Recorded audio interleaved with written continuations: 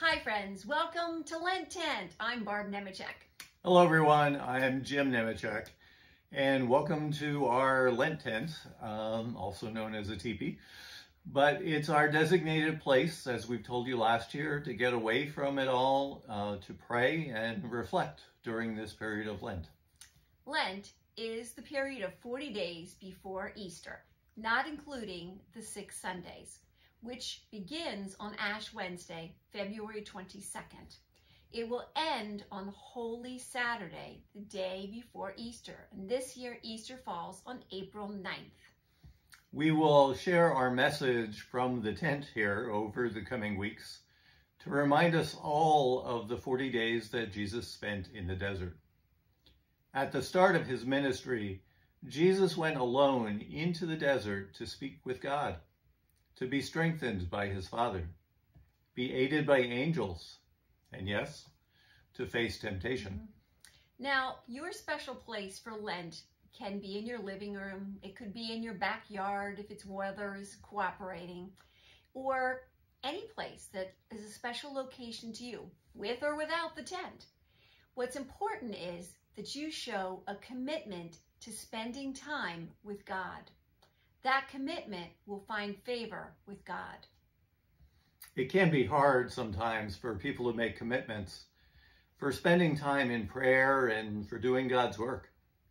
However, there are indeed things that bring out commitment in people. Really? What do you mean?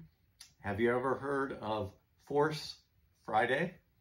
No. Is that like a World Wrestling Day or something? Wait, wait. Mm-hmm. Force.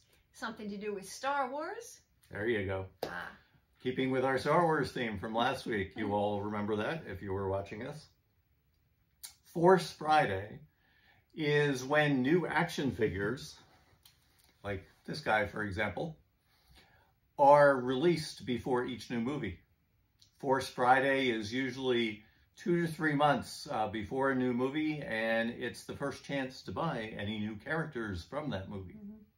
You know, I bet Force Friday is stressed at stores with midnight openings, giveaways, parties, so that Star Wars fans can pour into the door to get their hands on these new toys.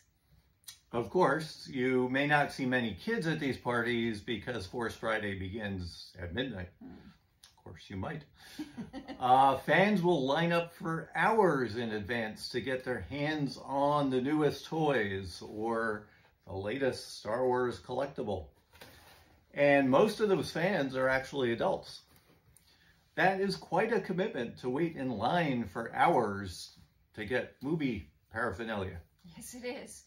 I guess those adults grew up on Star Wars and they never lost their love for the movies or the toys. And even as grown-ups, they keep on collecting these toys that they love. It does take a lot of commitment or love to stand in line at midnight for an action figure from a movie. I enjoy my sleep too much, so it mm-hmm. won't be me. Uh, but that love pales in comparison to the love of God. God's love is powerful enough to change the world. God's love can change the hardest of hearts. You're right. God's love is amazing. His love can heal families, restore friendships, and lead even the worst of sinners back to Jesus. There is no force greater than the love of God. Nothing is more powerful than love. The most well-known verse reflecting God's love is likely John 3.16. And it states, For God so loved the world that he gave his one and only Son, that whoever believes in him shall not perish, but have eternal life. In Matthew chapter 22, verses 37 to 40, Jesus tells us the greatest commandment in the law is love the Lord your God with all your heart, with all your soul, and with all your mind. This is the first and greatest commandment. And second is like it. Love your neighbor as yourself. All the law and prophets hang on these two commandments.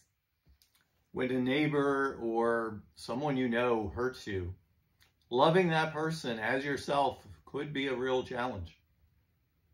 You know, Star Wars is one of those stories where you never have to wonder who the bad guy is. The bad guys and evil are pretty hard to miss. They wear black, Darth Vader up here. They usually have a hood as part of their garment. They carry a red lightsaber. And they're surrounded by fearless armored soldiers or battle droid. The bad guys in Star Wars also share one common goal they like big weapons, really big weapons. On land, they prefer the large, cumbersome battle walker that looks like a dinosaur. In space, they fly around in a speedy craft called TIE starfighters, and even bigger ships called Imperial class star destroyers. Also above my head. And let's not forget about the really, really big weapons that the bad guys built. The first Star Wars movie featured a weapon called the Death Star, which is hanging directly above the middle. It was basically a weapon the size of a small moon. Then in a later Star Wars movie, the bad guys went one step further and they created the Starkiller base. The base weaponized an ice planet to become the Empire's newest and most powerful weapon that could destroy entire star systems.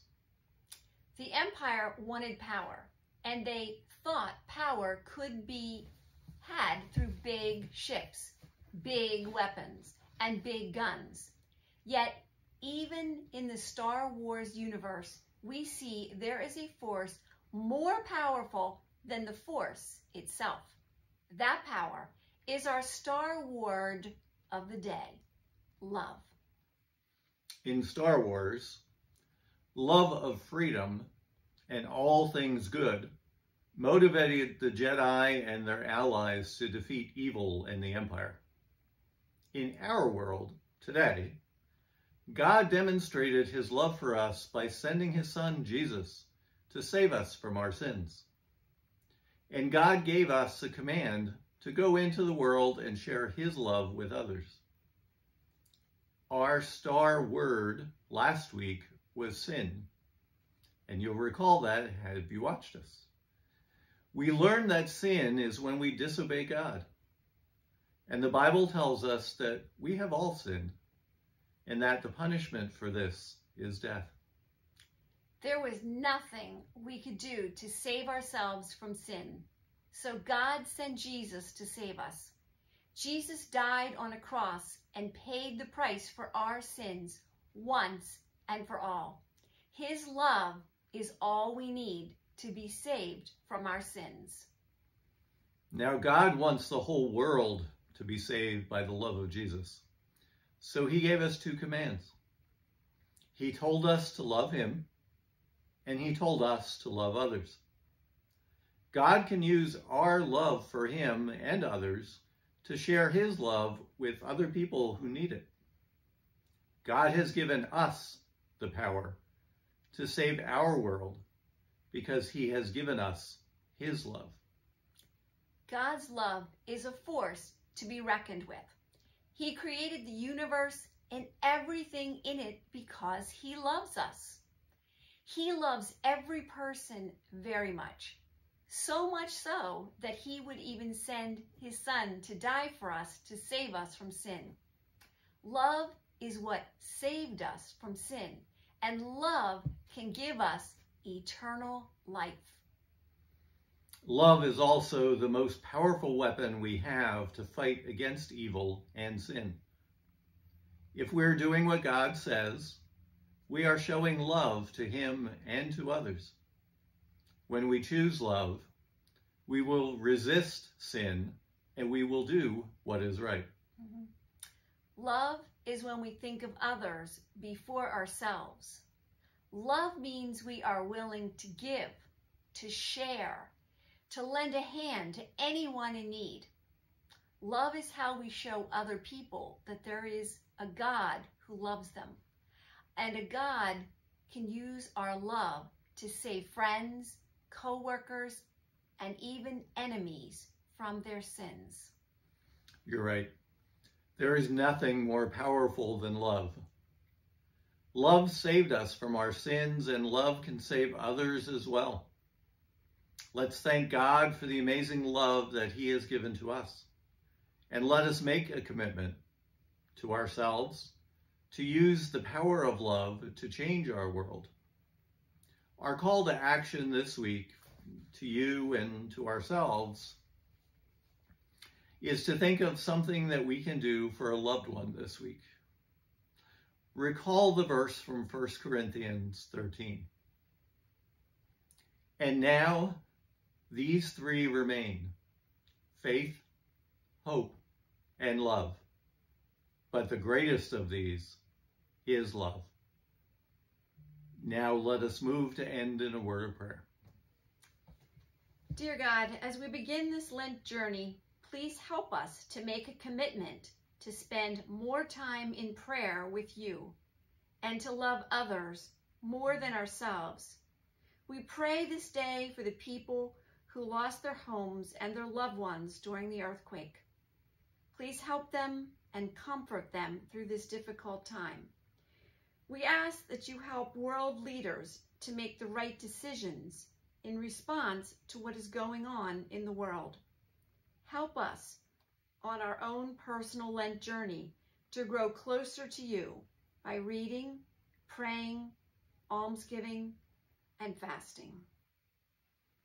You may add your personal intentions at this moment.